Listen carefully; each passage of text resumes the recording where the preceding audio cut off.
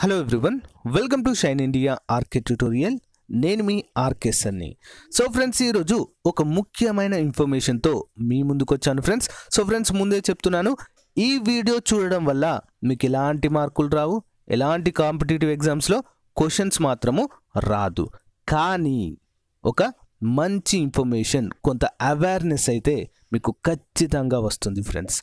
ఓకేనా? వీడియో మొత్తం కూడా చూడండి. సో ప్రతిరోజు కూడా ఏదో ఒక పేపర్లో సో ఏంటి ఉద్యోగం ఇప్పిస్తామనే పేరుతో నిరుద్యోగులకు వల వేసి వారి దగ్గర నుంచి లక్షల రూపాయలను కాజేయడం అనేది మనము చూస్తూనే ఉన్నాం. సో ప్రతిరోజు ఏదో ఒక పేపర్లో చూస్తూనే ఉన్నాం. కానీ మనకెందుకులే అనేటువంటి ఉద్దేశంతో వాటిని వదిలివేయడం జరుగుతుంది ఫ్రెండ్స్.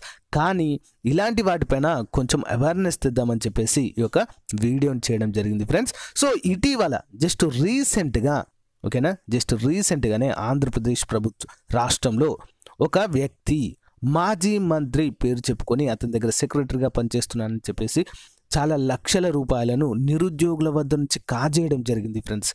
అసలు ప్రభుత్వోద్యోగం అంటే ఎవరికైనా ఇష్టమే ఫ్రెండ్స్. ఒక మంచి ప్రభుత్వోద్యోగము సాధించి జీవితంలో సెట్ అవుదామని చెప్పేసి ఎవరికి ఉండదు? చాలామందికి ఉంటుంది. సో ఈ చిన్న విషయాన్ని ఆసరాగా చేసుకొని నిరుద్యోగుల నుంచి ఓకేనా మేము జాబ్ ఇప్పిస్తాము. మాకు పలానా మంత్రి తెలుసు. సో మీకు ఈజీగా జాబ్ వచ్చే విధంగా చేస్తాము అని చెప్పేసి వారిని మభ్యపెట్టి లక్షల్లో వీరి దగ్గర నుంచి లక్షల రూపాయలు వసూలు చేయడం జరిగింది. అసలు ఏం జరిగింది?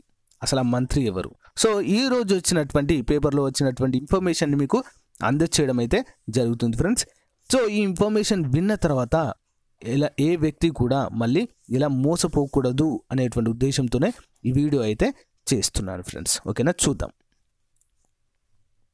సో ఈ రోజు వచ్చినటువంటి పేపర్లో వివరాలు చూసినట్లయితే ఆయన ఒక మాజీ మంత్రికి వ్యక్తిగత కార్యదర్శి నిరుద్యోగుల అవసరాన్ని ఆసరాగా చేసుకున్నాడు. APGENCO DM and HO RDO వ్యవసాయ కమిటీ ఎక్కడ కావాలంటే అక్కడ ఉద్యోగం ఇప్పిస్తా మంత్రితో సిఫారసు చేపిస్తా. ప్రభుత్వం మనదే అంటూ నిరుద్యోగులకు కొలువులు వల విసిరాడు. సో గుడ్డిగా నమ్మినటువంటి నిరుద్యోగులు లక్షల్లో ఆయనకు సమర్పించుకున్నారు. నెలలు గడుస్తున్నాయి. ఉద్యోగం లేదు ఈలోపు ప్రభుత్వం కూడా మారిపోయింది. ఉద్యోగం సంగతి అటుంచితే తాము ఇచ్చిన డబ్బులు సంగతి ఏంటని నిలదీస్తే తిరిగి బెదిరింపులు రివర్స్ కేసు పెడదామంటూ హుకాయింపులు విసిరి విగిసి వే వే- వేసాగిన పో- బాధితులు పోలీసులను ఆశ్రయించారు.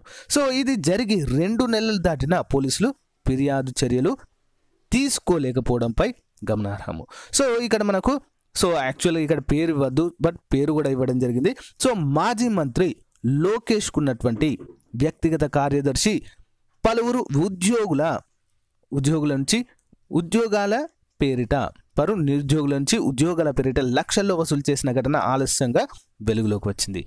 వివరాలు ఇలా ఉన్నాయి. మచిలీపట్నానికి చెందిన కోన నాగార్జునకు మాజీ మంత్రి నారా లోకేష్ వద్ద వ్యక్తిగత కార్యదర్శిగా పనిచేసిన బొంత అర్జున్ రావుతో పరిచయం ఉంది.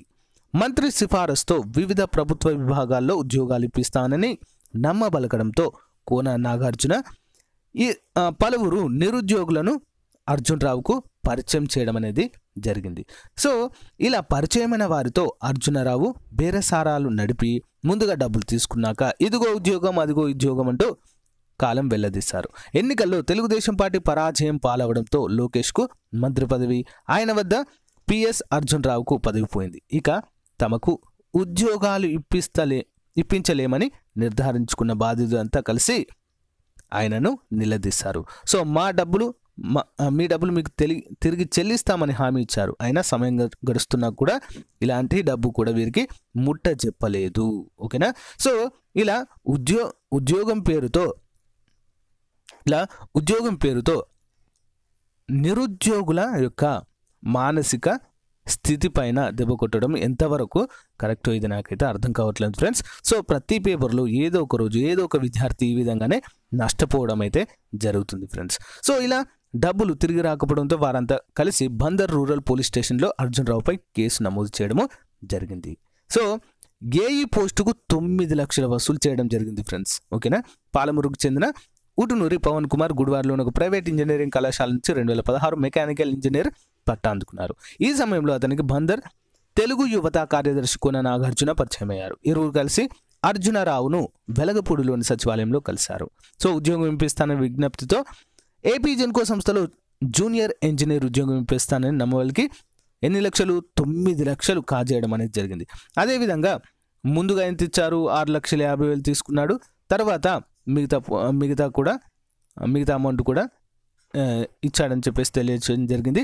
అంతేకాకుండా వీరితో పాటు మచిలీపట్నం వ్యవసాయ మార్కెట్ సెక్యూరిటీ గార్డ్ పోస్ట్ కోసము లంకె పోతరాజు నుంచి లక్షా యాభై వేల రూపాయలు. అదేవిధంగా డిఎం అండ్ హెచ్ఓ కార్యాలయంలో రెగ్యులర్ ఉద్యోగం కోసం రాజకుమారి అనేటువంటి మహిళ ఎక్స్ సర్వీస్మెన్ కోటా క్రింద వ్యవసాయ భూమి కోసం దరఖాస్తు చేసిన కృతి వెన్ను మండలము ఇంతేరు గ్రామానికి చెందిన కొల్లేటి లక్ష్మి నుంచి ఐదు లక్షలు తీసుకున్నట్లుగా కూడా ఇక్కడ మనకు స్పష్టంగా తెలుస్తుంది. ఇక్కడ ఎవరెవరు ఎంత ఇచ్చారో అనే విషయాన్ని కూడా మనం గమనించవచ్చు. సో చాలామంది ఫ్రెండ్స్ ఒక్కరు కాదు. సో ఇలా కేసు పెట్టిన వాళ్ళ వివరాలు మాత్రమే ఫ్రెండ్స్ ఇవి. ఇంకా వీళ్ళ చేతుల్లో ఎంతమంది మోసపోయారు? సో చాలామంది ఏంటంటే కొంచెం ప్రెస్టేజ్ ఇష్యూ తీసుకుని ఏంటంటే ఇలా చేస్తే మా పరువు ఎక్కడ పోతుంది అనేటువంటి ఉద్దేశంతో చాలామంది బయటకు కూడా చెప్పుకోలేక చాలామంది వాళ్ళలో వాళ్ళ కుమిలిపోయిన వాళ్ళు కూడా ఉంటారు ఫ్రెండ్స్. సో నేను చెప్పదలుచుకున్నది ఏంటి అంటే సో ప్రభుత్వంలో ఎవరున్నా కూడా మనకు ఉద్యోగం ఇప్పించేంత లేదు ఫ్రెండ్స్. ఓకేనా? సో ఉద్యోగాలు అనేవి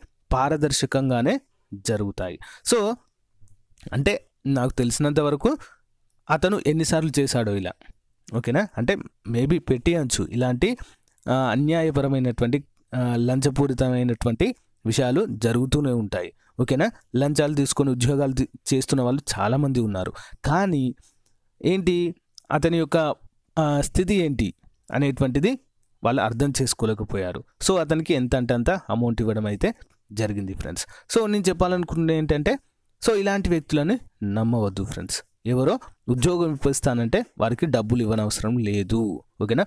కొంచెం కష్టపడితే మనకి ఈజీగా ఉద్యోగం ఇచ్చేటువంటి అవకాశం అయితే ఉంటుంది. కొంచెం కష్టపడాలి. ఓకేనా? ప్రభుత్వ ఉద్యోగం అంటే మామూలుగా వచ్చేది కాదు కదా? ఎంతో కష్టంతో కూడుకున్నటువంటి వ్యవహారము. ఓకేనా? ఈజీ వేలో డబ్బులు సంపాదించాలని చూసేవారు.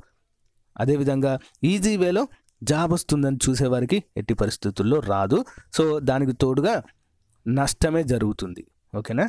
సో ఇలాంటి అంటే ఎవరైతే ఇలాంటి ఫేక్ జాబ్ రాకెట్ని నిర్వహిస్తున్నారో ఇలాంటి వారిపైన ప్రభుత్వం కూడా గట్టి చర్య తీసుకోవాలి. ఓకేనా? అంతేకాకుండా నిరుద్యోగులు కూడా చదువుకున్నాం మనం. ఓకేనా? చదువుకున్న వారికి ఎంత ఆలోచన ఉండాలి? ఓకేనా? ఇలాంటి అడ్డదారులో పోకూడదు. ఓకేనా? సో గుర్తుంచుకోండి ఫ్రెండ్స్. సో దీనిపైన కొంచెం అవేర్నెస్ అయితే కలిగిద్దామని ఈ వీడియో అయితే చేయడం జరిగింది ఫ్రెండ్స్. ఓకేనా?